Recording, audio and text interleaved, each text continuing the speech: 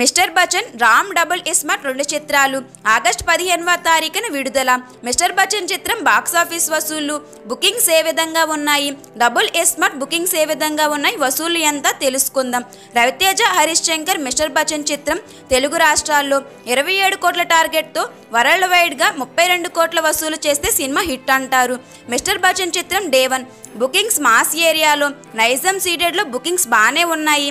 Total day one bookings ఆధారంగా చెప్పాలి అంటే నాలుగు కోట్ల వసూలు డే వన్ అందుకోవటం ఖాయమైంది. టాక్ బాగుంటే ముందుకు వెళ్తుంది.